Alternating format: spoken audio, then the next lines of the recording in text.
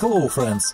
Besides the face evolution, in this video you will hear about the most dangerous injuries which Jackie Chan has got during his career.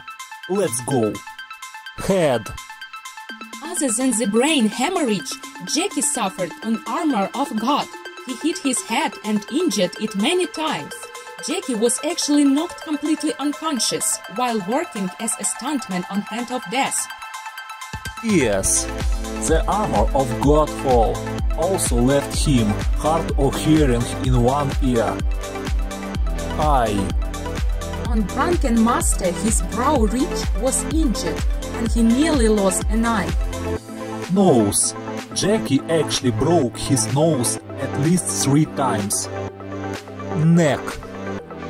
Jackie has hurt his neck a lot, but his worst neck injuries happened during the clock tower fall in Project A and after he messed up a flip during Mr. Nice Guy.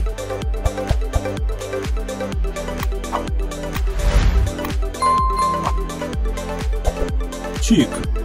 While making Super Cop, Jackie dislocated a cheekbone. He didn't even know you could do that. Arm.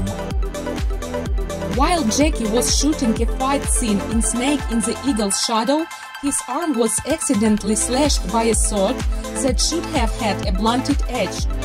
Blood went everywhere and he fell down screaming with the camera still rolling.